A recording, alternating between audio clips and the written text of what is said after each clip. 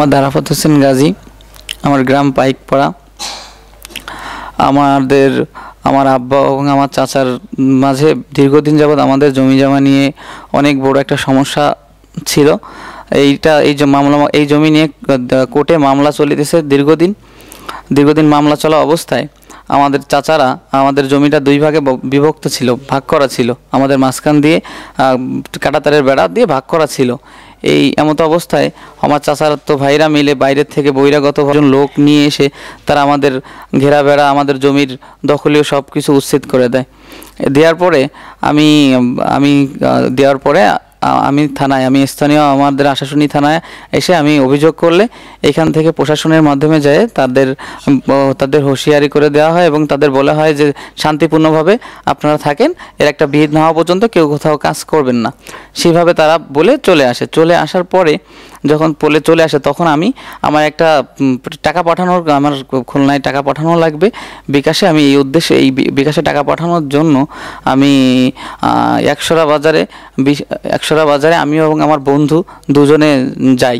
যাওয়ার পথে, মধ্যপথে তারা পাঁচ সাতজন লোক এবং আরও লোকজন সন্ত্রাসী বাহিনী নিয়ে তারা আমাদের উপরে বেধরক মারপিট করে। লোহার রড, হাতুড়ি বাঁশের লাঠি টাঠি দিয়ে আমার বেখাওয়া অবস্থা, আমার আমার এই, আমি সোজা হতে পারতেছি না, আমার এরকম অবস্থা করে ফেলাইছে তারা। সেখানে লোকজন না থাকলে আমার মেরেই ফেলাতো।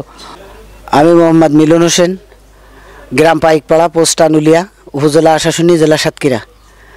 গত রাতে আমার মামাতো ভাই আরাফ মোহাম্মদ আরাফত হোসেন গাজী, পিতা আসাদুর রহমান গাজী। এ আমার মামাতো ভাই আসাদ আরাফাত হোসেনকে গত রাতে তারই আপন চাচাতো চারিপাশে ভাই মিলে বেধড়ক মারধর করেছে এবং শারীরিক নির্যাতন করে এমন অবস্থা করেছে যে তিনি এখন আশাশুনি স্বাস্থ্য কমপ্লেক্সে ভর্তি।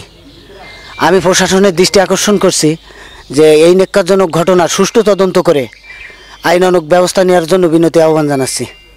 আমার একটু আগে লাঠিতে পুলিশ যাওয়ার পর আমার বাড়ি আমার বাপ তুই পুলিশ আগে একবার এনেছিস আমার বাড়ি বাড়ি এই তোর তোর বাচ্চা।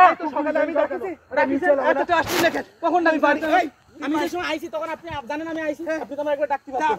আমি তোর ডাকবো তুই ডাকবি এই শুয়ারের বাচ্চা তুই ডাকবি। প্রেসিডেন্ট হইছিস? এই তোর ডাকবে কেন? এই তুই এমন কি প্রেসিডেন্ট হইছিস? তুই আমার কাছে আসলি দেখেন।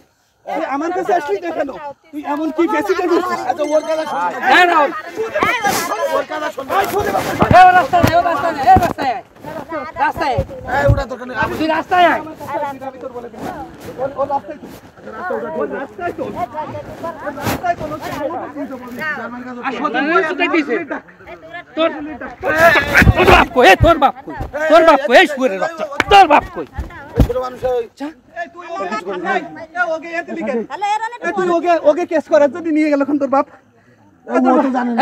আমি আবার ভাই ডেকে নিয়ে আসলাম। মিটাবো বলে তোর বাপ নিয়ে গেল কেন? তোর বাপ নিয়ে গেল কেন? আমি তো।